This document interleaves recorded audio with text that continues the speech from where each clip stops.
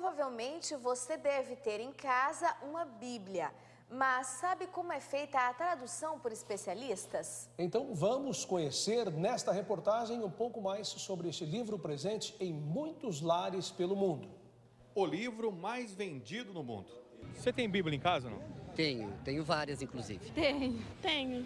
Mas será que é o mais lido? Olha, eu lia mais antigamente. Algumas vezes, sim, mas não todo dia.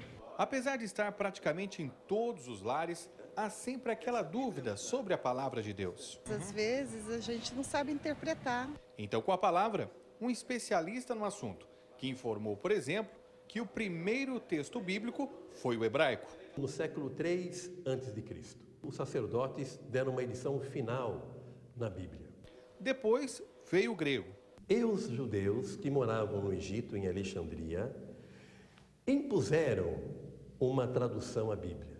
E então, o latim. E no século IV, São Jerônimo traduz o texto olhando o grego, olhando o hebraico para o latim. A primeira tradução em português foi a de João Ferreira de Almeida, que utilizou o original hebraico. É a tradução que os protestantes utilizam. E por que essa tradução é diferente das que os católicos usam? Ela considerou o cano hebraico, que não tem os sete livros que tem na Bíblia católica. A primeira Bíblia com a tradução utilizada pelos católicos foi a Ave Maria. Ela foi traduzida em 1958. Essa edição ela é feita pelos monges beneditinos da Bélgica. Olhando os textos originais, eles traduziram para o francês. E do francês veio essa tradução para nós aqui. Ainda temos Bíblias como a de Jerusalém, Pastoral, tradução ecumênica e a tradução da CNBB, com o texto oficial das liturgias.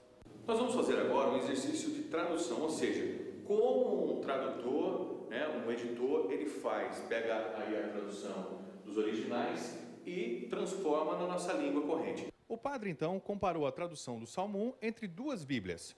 No trecho há algumas palavras diferentes, mas com o mesmo sentido. E aí a gente se diz, qual está certo? Ambos estão certos. O importante é perceber no texto bíblico o que Deus quer para nós hoje. Traduções à parte, o importante é saber e entender o sentido da Bíblia. Realmente é fundamental hoje iniciar uma evangelização partindo da Bíblia, da palavra de Deus. Ao encontro com uma pessoa, é encontrar Jesus.